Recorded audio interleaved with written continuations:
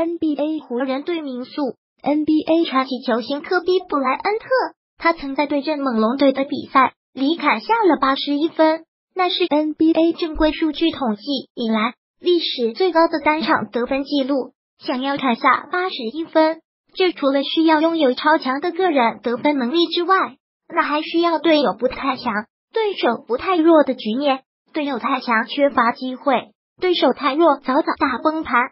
可以说，八十一分这样的得分壮举，那需要天时、地利、人和，缺一不可。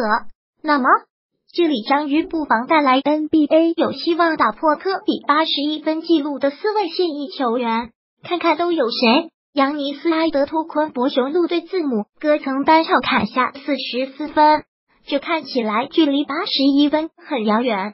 可那是过去的字母哥，字母哥现在才二十三岁，他还有着巨大的进步空间。今夏字母哥已经开始苦练投射，他一七到一八赛季只有百分之三十点七的三分球命中率。一旦他的投射能力达到顶级球员应有的水准，那么得分能力必然会瞬间爆表。雄鹿队不再是夺冠第一梯队的球队。无论是面对西部强队还是东部顶级球队，他们的赢面都不是很高。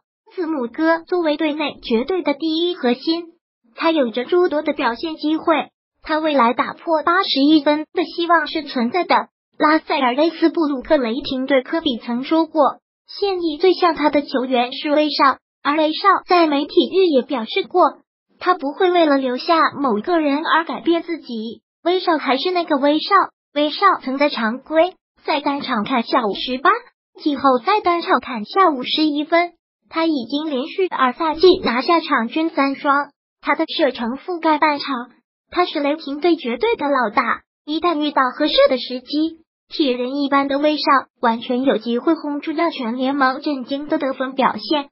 德文布克太阳队布克曾单场轰下七十分，那是面对有着铁血防守的凯尔特人队。虽说他们现在有了壮狼的安德烈·艾顿，但是论输出点，目前年仅二十二岁的布克依旧是太阳队第一选择。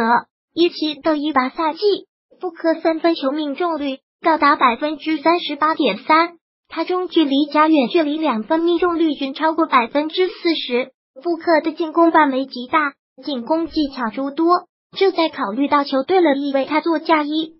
他未来暴走砍下高分的机会，真心有很多很多。多诺万·米切尔，爵士对米切尔，目前年仅二十二岁。虽说他在菜鸟赛季命中率不高，但是他曾轰出过单场四十一分，他的爆炸性得分能力在这里可见一斑。鲁迪戈·波特强于防守，米切尔强于进攻，定位在进攻端第一选择的米切尔，他就有了疯狂输出机会。而随着个人成长，他未来的进攻手段必然会越来越多，他轰下高分的机会自然也会越来越多。一如前文，当年科比砍下八十一分，那是有着天时、地利、人和。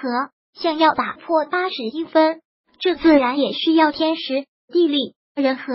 本文这四位拥有着更多的得分机会与能力，这给了他们未来打破八十一分带来了。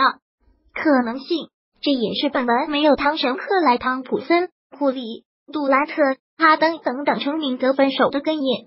那么，就平心而论，对于本文这四位球员，你认为未来谁最有可能打破科比的得分神迹呢？